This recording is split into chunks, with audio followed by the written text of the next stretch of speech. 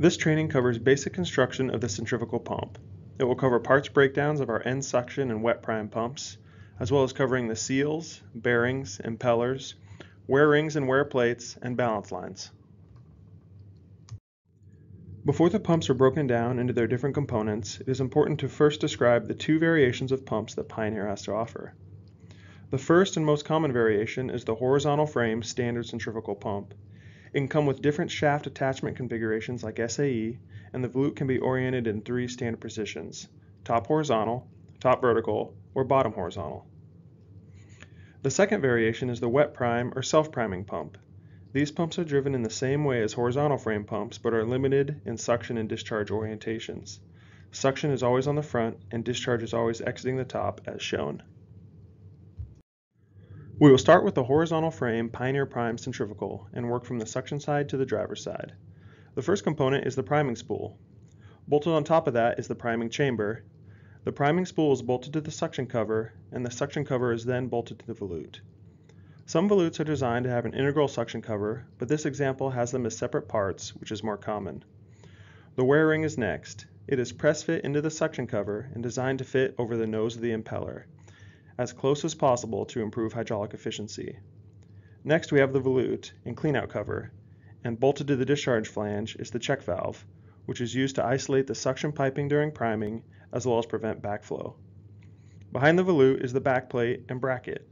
Some designs have these two parts combined in what we call a bracket, but this example has them as separate pieces, which is most common. The bracket itself also comes in either an open or enclosed configuration. This will be discussed further in another slide. The pump bearing housing comes after the bracket, and the internals of the bearing housing are also covered in another slide. The vacuum pump is either bolted to the top of the bearing housing, or it can be mounted on the side using a separate bracket and is powered by the shaft. The last major piece is the SAE bracket, which is used for mounting to an engine. If the pump were to be coupled to an electric motor, this piece would be replaced with a bearing cap and referred to as bare shaft. Gaskets or O-rings are always required when bolting any two metal components together that are exposed to fluids to prevent leaking. As mentioned earlier, the bracket is either an open or enclosed design depending on the pump model. It is important to understand the differences between the two and the different components that come with each. Let's start with the open style. The open bracket is just that, more open. It attaches the bearing frame to the backplate, but it also houses the seal gland where the mechanical seal is located. To lubricate the seal, Pioneer utilizes a run-dry reservoir that gravity feeds oil into the seal gland. The oil serves as a heat sink more than a lubricant. An enclosed bracket does not need the reservoir as the bracket serves as the oil bath for the mechanical seal. Oil is poured into the enclosed bracket and a transparent hose serves as the level gauge.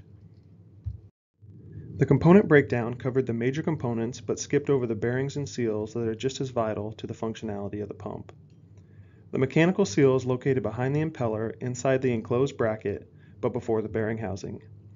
Its purpose is to prevent fluid from leaking out of the back of the volute into the run-dry reservoir while allowing the shaft to freely spin. A cassette seal is installed in the bracket to keep the oil from escaping. Cassette seals will be covered more in another slide.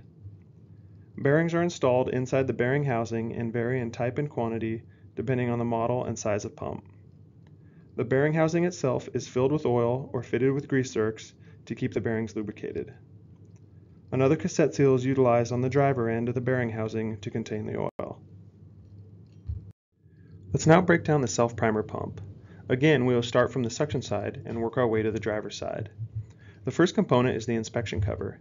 It can be removed to inspect the impeller as well as adjusted using the screws shown to set the clearance between it and the wear plate.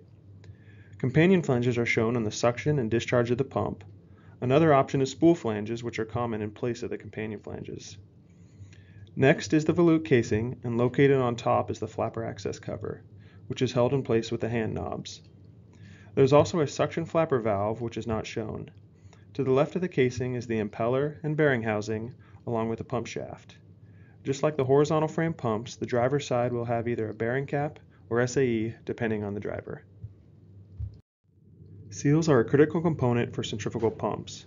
They allow the shaft to freely spin while keeping oils and other lubricants from leaking.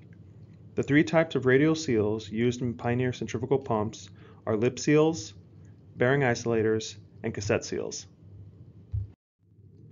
Lip seals are stationary and work by gripping the shaft with elastomeric bellows, which prevents lubricant from escaping, as well as keeping dirt and other contaminants out.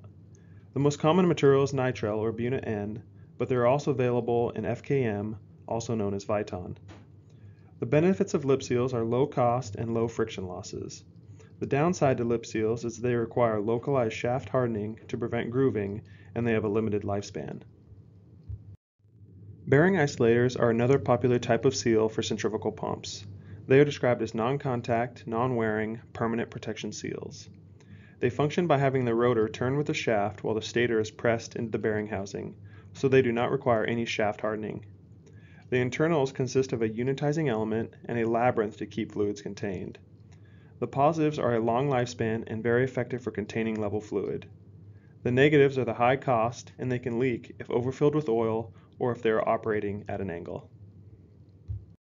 The cassette seal is a fully enclosed seal capable of serving as an all-in-one seal, wear sleeve, and dust protector. It contains multiple sealing contact points with a fully incorporated unitized design. The sealing elements are internal, therefore minimizing shaft finish requirements and shaft grooving. Other advantages include lower cost and size than bearing isolators, and they also seal more effectively than bearing isolators. Pioneer is in the process of replacing all lip seals with our own in-house cassette seals. While mechanical seals serve a similar purpose as the three radial seals we just described, they function in a very different and unique way. Mechanical seals use both rigid and flexible elements to create two sealing surfaces that slide on each other while allowing the shaft to pass through. The two surfaces are both hydraulically and mechanically loaded to maintain adequate contact.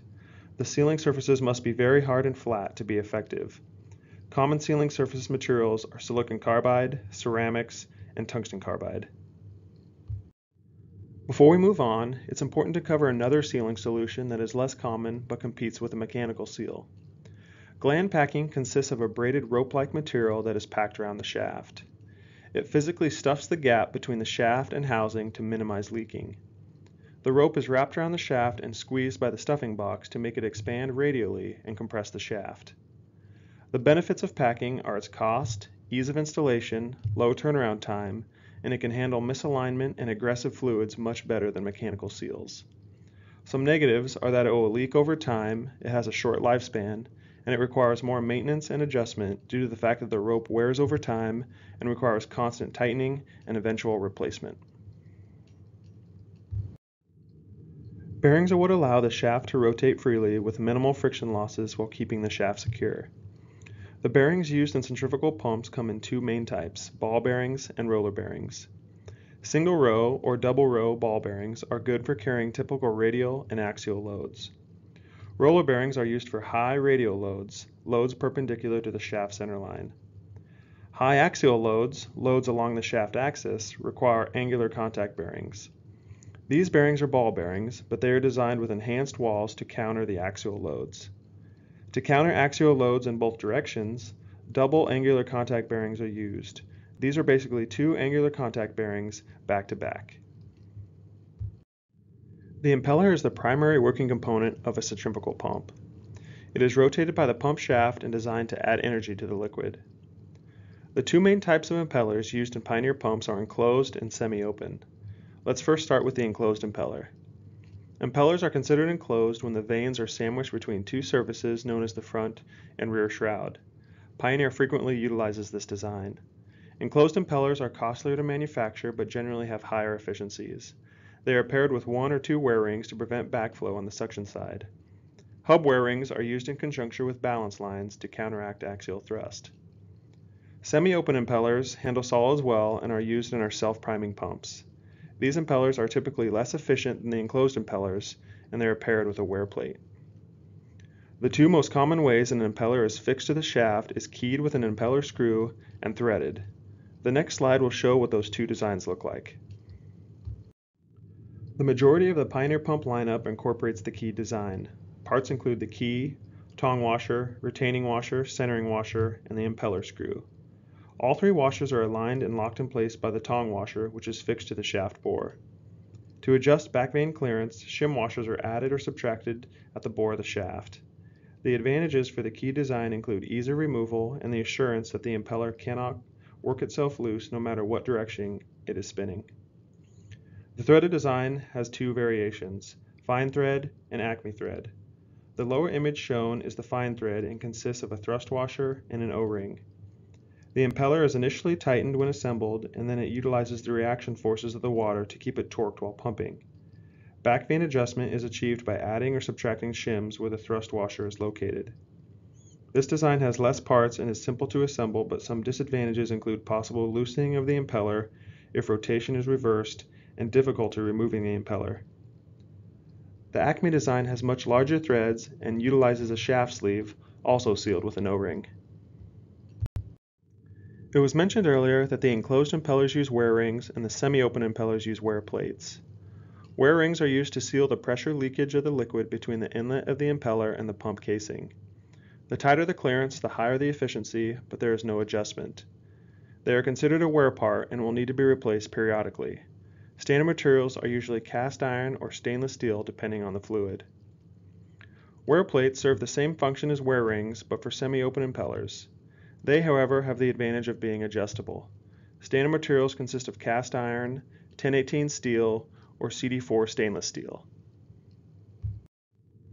Similar to the suction wear ring, high head pumps also have a hub wear ring located at the back of the impeller. Both have the same function of limiting recirculation and isolating specific areas of the pump to maintain pressure. Pumps designed for high heads have a large pressure differential between the discharge side and the suction side of the impeller. This differential creates axial thrust on the impeller and shaft and can damage the bearings and seals. To balance the pressure between the front and back of the impeller, a balance line is installed, as shown in the images. This concludes centrifugal pump construction part 1. We covered the parts breakdowns of both our end suction horizontal frame pumps and the self-primer pump or trash pump. We also covered radial seals, cassette seals, bearings, impellers, wear rings and wear plates, and balance lines. Be sure to come back for part 2 of centrifugal pump construction where we will discuss flanges, drive-in configurations, our priming systems, and materials of construction.